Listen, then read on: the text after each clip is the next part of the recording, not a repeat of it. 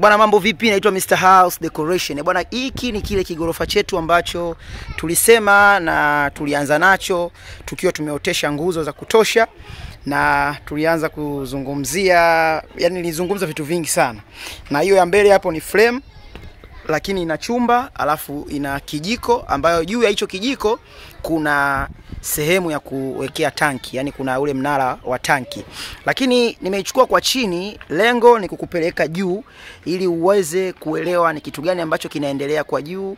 Kwa hiyo sikatishe video katikati. Hii ni ghorofa ya chumba kimoja na tumeotesha. Ilikuwa ni chumba cha kawaida, lakini tulichokifanya tumevunja iko chumba tukaanza kuotesha nguzo. Kwa moja kwa moja sasa hivi nikupeleke juu ili uweze kuona ni kitu gani ambacho tunafanya huko juu. Hapa nikiwa ndani na chumba chenyewe ni hiki hapa, na jiko ambayo tunalizungumzia ni hili hapa, na huo ndio ule mlango wa kwenye ile flame. Kwa hiyo mtu atakuwa anapika hapa, flame ile pale, halafu hapa kuna chumba na juu ya hii jiko maana yake kuna mnara wa kuhifadhia tanki. Kwa hiyo nipande juu nikupe more information kuhusiana na hii ghorofa ambayo tumeipandikiza. Ni ghorofa ya kuotesha, na sasa hivi kwa juu hapa ndipo ambapo tulipofikia, tunafanya wiring kwa sababu mfumo wa ghorofa unatakiwa ifanyike wiring before ya kumwaga slab.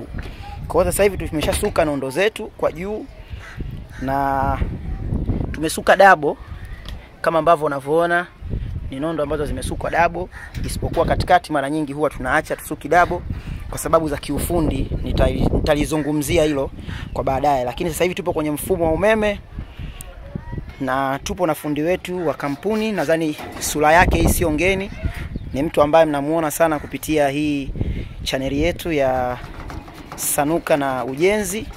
Ni mtu ambaye ni mbobezi kwenye kazi hizi za umeme, ni mtu ambaye anajua nini cha kufanya kwenye system za umeme. Kwa hiyo sasa hivi tupo kwenye hatua za mwishoni mwishoni kumkabidhi mteja wetu kwenye phase hii ya kwanza ya chini. Maana yake hapa inshallah tutakapokuwa tumemaliza usukaji wa umeme, yani kufanya hii wiring, maana yake tutamwaga slabu rasmi. Mfumo ndo huu hapa. Kwa hiyo wewe mtu ambaye unatamani kujenga ghorofa na hauna nguvu ya kutosha, basi unaweza ukaotesha nguzo, lakini inakuwa ni small. Hii ni small ghorofa, ni ghorofa fulani ambayo ndogo, unaweza ukaiotesha pasipo kuanza nayo tangu chini. Unaotesha tu nguzo za kutosha, basi unapata kieneo juu. Na huku juu kama nilivyozungumza hapo awali, ni chumba, kuna jiko na choo. Ile sehemu ya choo kwa chini pale ndo kuna jiko Alafu hizi nguzo unazoziona hizi nondo zimetokeza zitapanda juu.